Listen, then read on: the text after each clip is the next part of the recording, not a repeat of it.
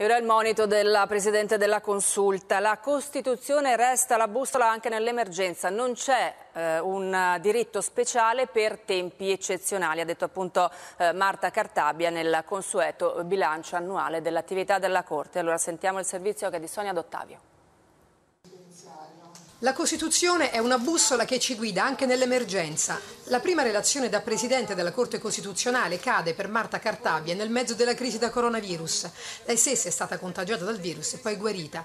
E chiarisce la nostra Carta, a differenza di altre, per scelta, non contempla un diritto speciale per lo stato di emergenza. La Repubblica, sottolinea la Presidente della Consulta, ha attraversato molte situazioni di crisi, a partire dalla lotta armata, senza mai sospendere l'ordine e le regole costituzionali.